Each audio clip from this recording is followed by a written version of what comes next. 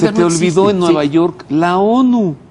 Bueno, Nomás tienen sede, cooptada la. ONU. Bueno, tiene oye, la policía de Nueva York. Pregúntale a Dominique Strauss-Kahn ¿Tú te acuerdas? si funciona Bueno, bien ¿cómo o no esa no, policía ¿Cómo nos vamos a acordar? de Nueva York. El día que, Eh, el día que Baby Bush sí. dijo, pues aunque el Consejo de Seguridad de la ONU dice que no ataque Irak, Yo me voy por la vale. libre. Yo- a mí me vale. y yo, atacó yo, yo Irak. bombardeo. sí. ¿Y luego qué pasó con el Consejo de Seguridad de la ONU? Sí, nada. Bueno, nada. ahorita ya empiezan a haber problemas porque ni China ni Rusia están jalando con ellos. Acuérdate que este consejo, Rusia, ¿a qué este te consejo suena, de seguridad es el viejo orden mundial. Sí. Ahorita vamos a ir al nuevo orden Contra mundial, eh, que es el multipolar, en donde van a jugar un gran rol, y ya lo están jugando, los BRICS, que son Brasil, que ese es el lugar que debió haber tenido México, pero México claudicó. Brasil, claudicó, no me voy a, es antes- otro tema. no, pero a ver, antes de Brasil, que- Rusia, India, China y Sudáfrica. Antes de que te vayas al BRIC, dice José Alberto que es un conflicto territorial. No, ¿Y pero ahorita ya entramos de energía también, control de energía, petróleo. Entonces estaba hablando yo de ese acuerdo de entre el rey Saud y Estados Unidos. Estados Unidos ya no le apuesta al petróleo. Estados Unidos, ahí está el último reporte del MIT, digo, para citar uno de tantos que hay, en donde Estados Unidos le apuesta ya todo al gas. ¿Por qué? Porque Estados Unidos tiene la tecnología de licuar el gas y de transportarlo, lo congela, lo descongela y ellos le van, además eh, es más barato en equivalencia que el petróleo y contamina menos. La apuesta de Estados Unidos se llama el gas. Entonces, es muy sencillo. Tú ves la geopolítica del petróleo hoy. ¿Quién es el primer comprador hoy de, de Arabia Saudita? Se van a ir de China. Fíjate qué interesante. ¿Quién es el primer socio comercial de Irán en todo? China. Curioso, ¿no? Curiosísimo. Bueno, ahí voy a la segunda, la geopolítica del gas. ¿Quiénes son los primeros tenedores de gas en el mundo? Rusia, Sas. acuerdo con Alemania, cada día se acerca más Alemania a Rusia y deja el euro, ya ni quieren saber del euro, y pobres nuestros amigos griegos. hombre. Los tronaron, sí. Bueno, pero ya están tronados, hombre. Es que no están Irlanda- salvando a Irlanda- Grecia. y antes de Grecia, Es que no Irlanda. están salvando ni a tu país de origen, ni a, que es Irlanda, ni están salvando a, a- a Italia, ni están salvando a Portugal, ni están salvando a Grecia. Se están salvando a sí mismos los bancos alemanes y franceses que especularon, igual que lo hizo Bern Stearns y Lehman Brothers y Citigroup. y es lo, mi- mira, el juego es financiero, no nos equivoquemos. Yo si algo quiero dejar esta tarde eh, a los eh, eh, dile- eh, dilectos maravillosos, eh, bellísimos televidentes, los es mejores del mundo mundial. No pierdan su tiempo con los políticos. No sirven, ya están cooptados todos. Tenemos que crear una nueva clase política a nivel universal, aquella que no se haya contaminado por el Los financierismo sionista házaro. Oye, y con acceso de la población civil a la política. Por supuesto, Por- esa es la nueva política. El día que esta reforma no Esa se es la haga, nueva política. Entonces, concluyendo lo del gas, ¿quiénes son los tenedores? Rusia, 35%. Irán, ¿escuchaste bien? ¿Escuchaste bien lo de Irán? No, no, claro, Bueno, claro. Mira, Van- yo en Beirut, allá, ¿no, una enseñanza. Va- van sobre Irán, ¿no? No, hombre, quién sabe si, ver, se, ¿qué qué- te si se enseñaron ponen de acuerdo. Beirut? ¿Sabes en Beirut qué escuchaba yo? ¿Cuándo se ponen de arreglo Estados Unidos eh, y Irán? ¿Cuándo se van a arreglar? Porque Estados Unidos necesita el gas y, y Irán no está en contra de Estados Unidos. No te creas, es, es una, eh, eh, eso es para los más medias y muy de- exageradamente masivos, para no decirlo de otra manera. El, eh, no, hombre, eh, cuando tú te vas a la geopolítica, Estados Unidos, para empezar, no ganaría la guerra si se va contra Irán. Lo que ves es que Israel quiere que Estados Unidos le haga sus guerras, como se las ha hecho todas. Sí, pero Estados Unidos ve lo mal que le ha ido. Oye, perdió en Afganistán, perdió en. Irak, el mismo Israel no gana. Perdió Oye, en perdió en... No, pero yo te hablo del, del, nuevo. del 2000, 2000 para acá, del siglo XXI en adelante. No retrocedamos. No, el 20 le fue muy bien a Estados Unidos, ganó todas, menos Vietnam. Voy a hacer una pausa. Regreso y abro nuevamente con José Alberto porque agarra la palabra. Y no la suelta. Freddy dice, son mis cinco minutos, pero se toma 50. Como decía Paco Stanley, ¿te acuerdas? Oh, ya quiere su programa. ¿Te acuerdas? No, pero yo no como tacos aquí en No, frente. bueno, yo, yo No, tampoco no, en mi vida he ido allá a los, los tacos de aquí adelante. Eh, regreso preguntándole a José Alberto Villasana qué está pasando con el dólar, porque por allí también encontramos Desde una luego. línea, una beta, ¿no? Un dólar que, Desde luego. que Oye, como por cierto, dijera José López Portillo en sus mejores tiempos, defenderé al dólar como perro. Este es no el llegó dólar, ni a perro. Lo que López no llegó ni a peso. Ni a perro. Entonces, después de una pausa breve, regresamos con esto y con más. Continuamos con más del pulso de la fe. Estamos revisando qué es lo que sucede en Oriente Medio con este, este conflicto, estos levantamientos en el mundo árabe.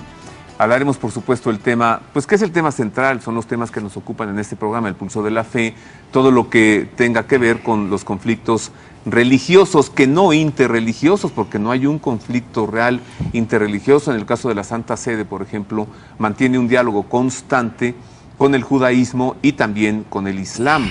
Eh, ahora, en unas semanas más, tendrá lugar la reunión en Asís, el encuentro en Asís, a donde se reunirán los eh, líderes religiosos con Benedicto XVI. Así que hay un diálogo interreligioso, sí lo hay, pero hay fuerzas extrañas, hay una mano que mece la cuna allí que sabe que las religiones siempre pueden ser un interesante polvorín para quien quiera aprender hay una mecha. Entonces sí hay un asusamiento entre musulmanes, judíos y cristianos en Oriente Medio.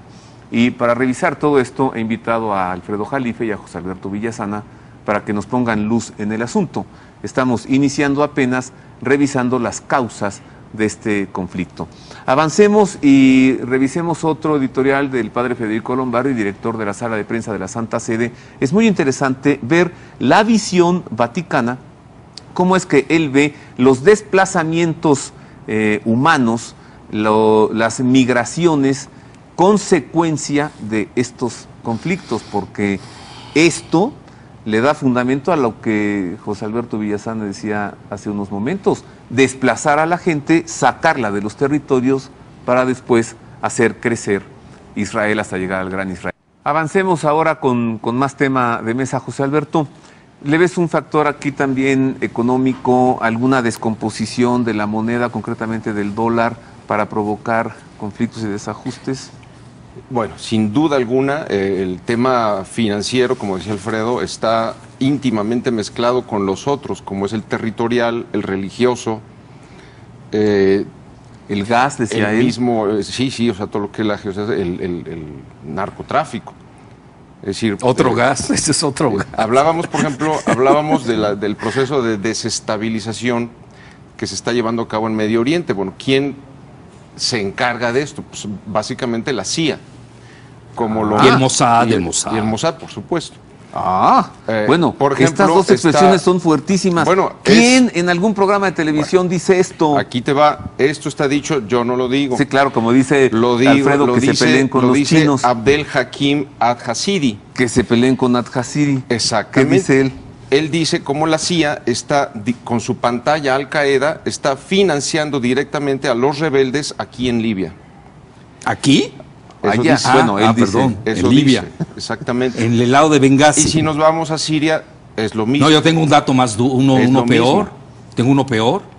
El viceprimer ministro de Egipto, nada menos que Yahya al-Gamal, no te estoy diciendo conjeturas eh, de periodistas o de analistas, estoy hablando oficialmente, acusó a Israel y a la Mossad, a Estados Unidos y a la CIA de asusar los disturbios religiosos entre los salafistas fundamentalistas islámicos y los coptos cristianos perseguidos de Egipto, que son el 10% de una población Por de supuesto, 86 bien millones. Claro. dicho. Yo estuve allí apenas en noviembre, es, antes del es. estallamiento eh, eh, del conflicto Sí. en el Cairo. Es decir, a ellos yo les estuve en el Cairo conviene en noviembre. A ellos les conviene y yo ya lo veía polvorín, llegar. desde sí, Ahí está. Un movimiento es- allí de esto yo lo escribí el 7 de julio desde Beirut. Lo Sí. escribí para la jornada. Ahora. Así lo, lo escribí. Sí, sí, pues sí. Yo tenía el dato duro. pues se peleen con el. Y lo está diciendo ahora, va- oficialmente el viceprimer ministro de Egipto. De Egipto, sí, sí. Y si no lo está diciendo uh, cualquier Sí, ¿no? pelagato. Todos bueno, ellos tienen esta información dura. Sí. Ahora, ¿cómo se hace? ¿Cómo la CIA opera esto? Porque hay que decir una cosa, esto no lo ha aprobado el Congreso estadounidense.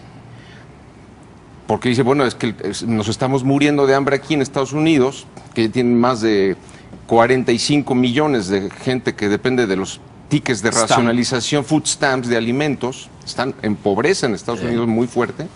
Estamos financiando las operaciones encubiertas de la CIA ya Entonces el Congreso le ha frenado, pero es que no necesita. Así esos recursos los obtiene del narcotráfico. El esquema, el esquema, el esquema Irán contra, por Sí, el cual sí vendían armas eh, a cambio de cocaína que la CIA vendía en las calles de los Estados Unidos para Bueno, ahí financiar está el- la contra nicaragüense. Ese esquema se está Sí. haciendo ahora Ahí está el con Libia, con Siria, de con Andrés. Rosenthal Goodman. Te pregunto, ¿tú sabes cuánto ha subido el cultivo de opio desde que Estados Unidos invadió Entonces, Afganistán hasta hoy día? 600%. Es un buen Todo ese, todo ese opio, toda esa heroína, ¿a dónde la lleva? La CIA la protege, la lleva y la vende en Estados Unidos, que es el país primer consumidor. Sí, están estupidizando a su propia Bueno, población. Así es como financian estas operaciones encubiertas. controlan a la no gente. le Controlan a la rinden gente. Tranquilos todos, ahí está cuentas su droga, a nadie. No le rindan cuentas al Congreso estadounidense, más bien están furiosos porque se enfrascó Obama en una guerra no autorizada, que es la de Libia, y dice, bueno, Sí. ¿quién te autorizó para declarar a Estados Unidos en guerra contra Libia? Pero así es como obtienen ellos estos financiamientos para estas operaciones encubiertas de crear disturbios en Libia, en Siria, en Irán, en Somalia, en Sudán. Pues eh, qué bueno que digas fuentes, porque a mí también ya una vez le voy a decir, me buscaron y me dijeron, oiga, ¿por qué dice usted esas cosas en su programa? No, y yo pues les no las contesté, decimos sí, les contesté lo las mismo. No, tranquilos los- todos, las a ver, fuentes. no las digo yo, yo traigo a gente que conoce y yo no voy a invitar a alguien para decirle, nomás no digas esto y no digas aquello. y Claro. no que en otros más allá". canales sí no los dicen. ¿eh? Bueno, Ajá, otra vertiente, Ajá. otra o no nos invitan, no les conviene. Otra vertiente del Por dinero. supuesto. Mírate, el O canal. mandan, hay un ¿te canal que es sucursal de Murdoch en México. Que no voy a decir el No, yo nombre. tampoco voy a decir, pero No es el el nombre. mismo, Pero es- obviamente no me invitan. Otra vertiente del dinero. Sí. Aparte de que todo esto de estabilización se está financiando con el narcotráfico mundial. Otra vertiente del dinero que también te, te dice cómo están las cosas. El 25% de los legisladores en Estados Unidos y de las dos cámaras, Se drogan. más todo el aparato eh, militar, halcones, tienen sus principales inversiones en la industria armamentista. Entonces, por eso es que continuamente... No, pero otro están- dato, José Alberto.